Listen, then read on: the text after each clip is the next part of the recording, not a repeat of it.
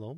In this video, we're going over how to install SDXL on your local Stable Diffusion installations with automatic 1111 distribution. SDXL introduce um, update to the existing models. If you notice, it's add additional processor refinery, as well as reduce amount of the trained data from 512 by 512 to 128 to 128, which allowed to condense much more data inside and have a bigger range of the reference.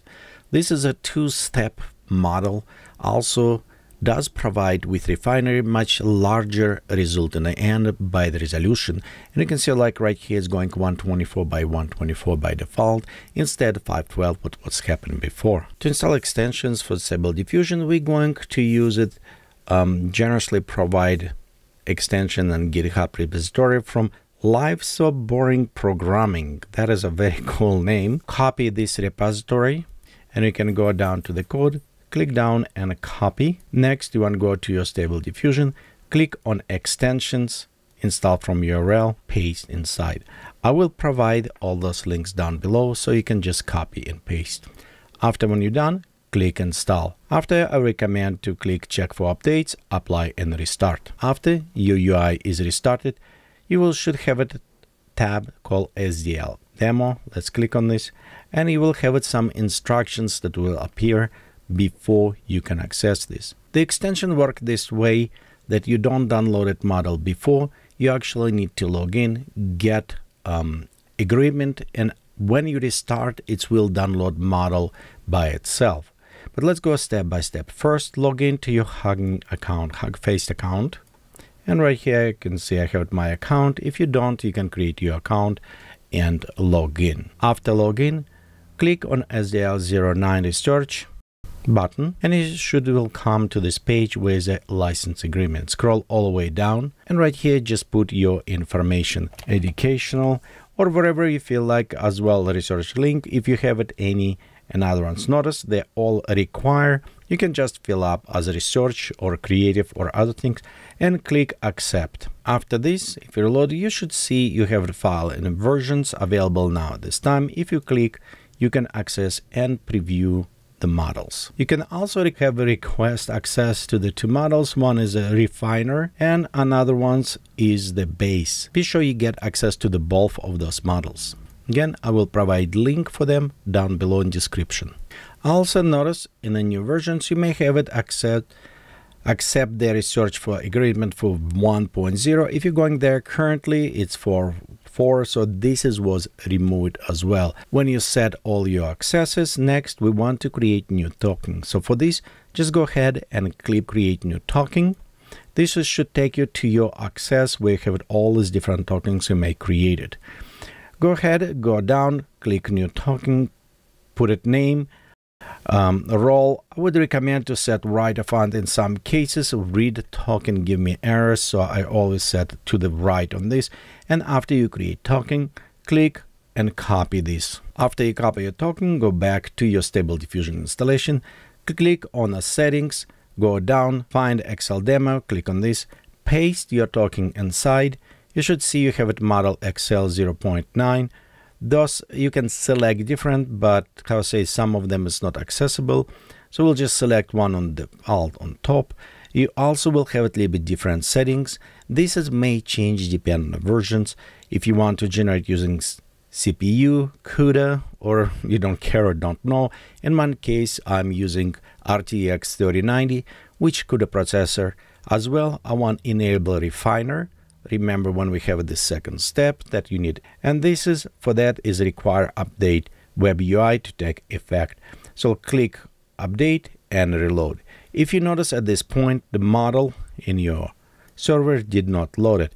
For this we actually need to restart our server so it will reread. Let's go ahead relaunch our server. As progress you'll notice it will start downloading necessary scripts that is required for installations, as well as we'll download some models because models is about 12 gigabytes or more, so it will take some time depend on your internet connection. After finish uploading and downloading all models, we can go to SDXL demo tab. And now you notice right here we have a similar prompt like we have it in text to image with a few exceptions. Of course, we don't have it our ControlNet or any other options available. As well, if you go look down below right here, it's got a very ad of the um, person who's developed. So here have the videos available if you need to see on a YouTube. Okay, let's go back to our element. Now we'll notice right here we have the options unload SD checkpoint in case if you have a too much VRAM use it.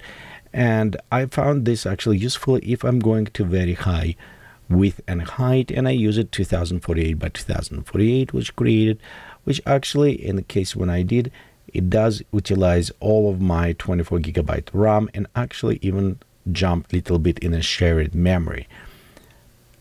With unloading mem unloading the model that you don't use it that will help a little bit to free up RAM also below we have a sampling method. Currently it is Euler discrete by default. You can try select different ones and see which one is work better for you. As well we have sampling steps. Currently it's 20 sampling steps. We can increase it. And we also have options CFG scale, seed, and refiner. Refiner is kind of nice options because you can go ahead and try refine separate image or otherwise. It's very nice to separate them.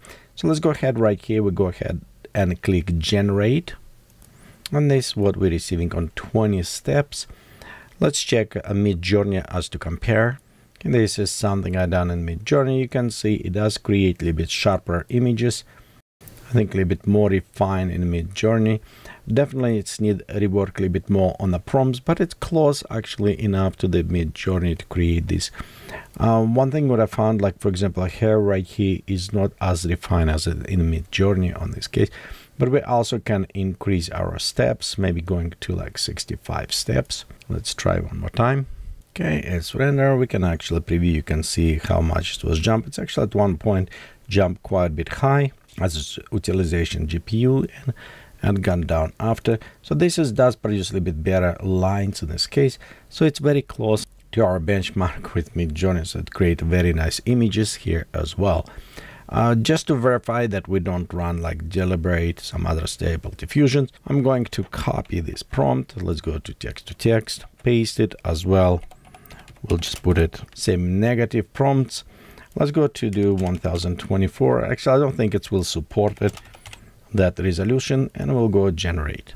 Okay, and here's an example what Deliberate does for us, broken arms other things and of course the it produces much much better effect as SDXL. The possible problems you may occur when you install it that model does not load it all away then you want to stop your server and restart it as well you can try to experiment if you go in settings going down XDL demo you can try two different type of the models um, I say I did not find 1.0 it's give me not found. I think they changed repository or other things, but you can try those and see if they will work as well.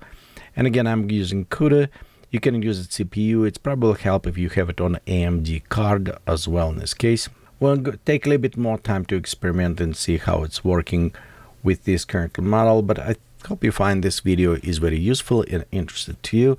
Again, please support um, person who create these extensions for Automatic 1111 and have a great day exploring.